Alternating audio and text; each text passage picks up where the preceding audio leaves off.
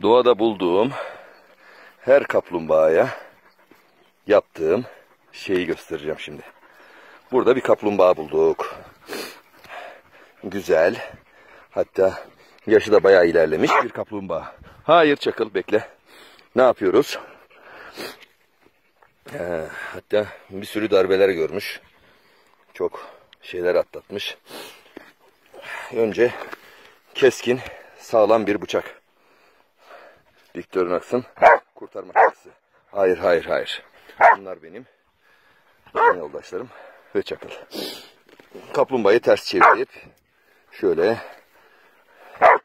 ondan sonra eee, bıçağımızı elimize alıyoruz. Şekildeki gibi. Şurada gördüğünüz şeyi patlatıyoruz. Gördüğünüz. Şunları da patlatıyoruz.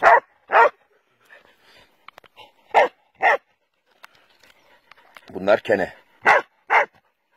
Kaplumbağayı kurtarıyoruz.